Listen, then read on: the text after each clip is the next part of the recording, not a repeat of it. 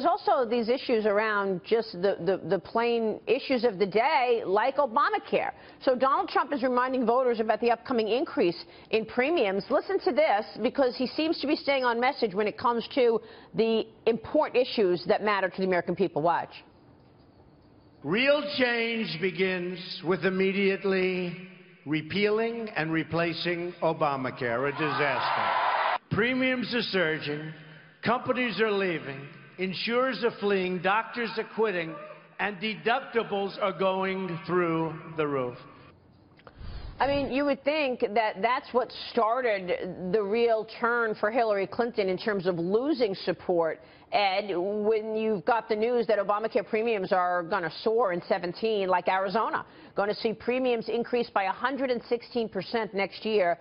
What about this spike in Obamacare premiums? Does that is that an effective tool for Trump to get the vote out? Well, I would hammer that like crazy. You don't you don't need to really think about it in America because we're all getting the bills in the mail today. I can't believe how much my wife and my premium went up for health care. I can afford it. A lot of people can't. And it's tragic what's going on. My doctor has gone back to India. She said she can make more money there just practicing medicine than she can in the United States teaching in a medical school and having a general practice. That's not good. And we're, we're just brutalizing the American family. Who could afford this? It just, it's insane what's going on. And I, I absolutely firmly believe that that's been the goal all along was to get to a point where we have absolute total control over health care in this country and we're going to have socialized medicine and we're going to drive competition out so the quality of medicine is going to go down, the cost yeah. of drugs are going to go up, were eliminated completely. Yeah, because as you've noted in the past, Dagen, it's not just about premiums going higher, it's about uh, less choice.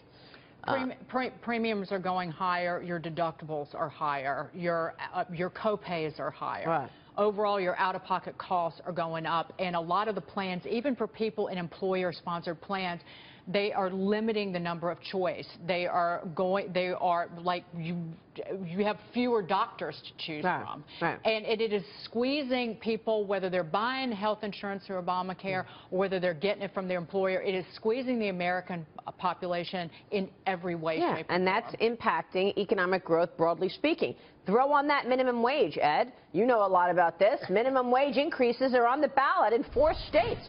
Voters in Arizona, uh, Arizona, Colorado, Maine, and Washington will vote tomorrow to gradually hike the rate. That's an estimated 2 million people uh, being impacted by increases across these four states.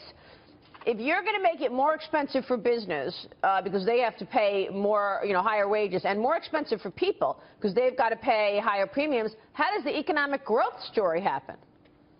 Oh, you know, small businesses are what drive the economy and create the jobs in this country. You can't double the size of a monolithic giant corporation, but you can double the size of small businesses pretty quickly, double the jobs.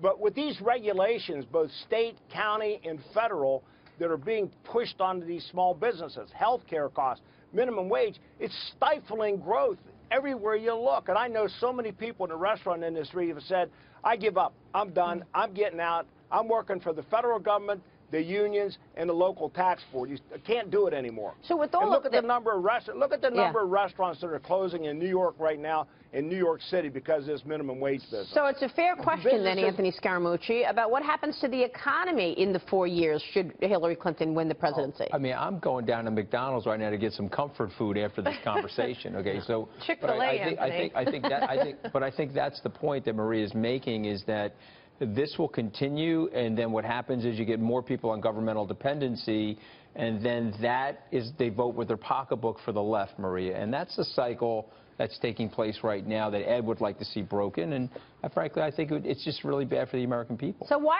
why the market's rallying then, Ed? We got a rally of 200 plus points right now on, on the FBI news. Well, you know, I I, I am not I don't have a crystal ball. I don't know why a lot of these things happen. The Anthony has happen. Anthony well, has a, a, a thought on this. Are rallying because at the end of the day, if she wins, you're going to have zero interest rate policies for as far as you can see. And so that's more of the same. That's good for asset prices and corporatists, and that's the reason why. Okay. Uh, markets like certainty, uh, Ed Rensi. I don't know that businesses want the same certainty as, as what they've been dealing with uh, with Obamacare and the minimum wage story. Good to see you, sir. Thank you so much. Important uh, developments and important days that we are watching. Thank you, sir.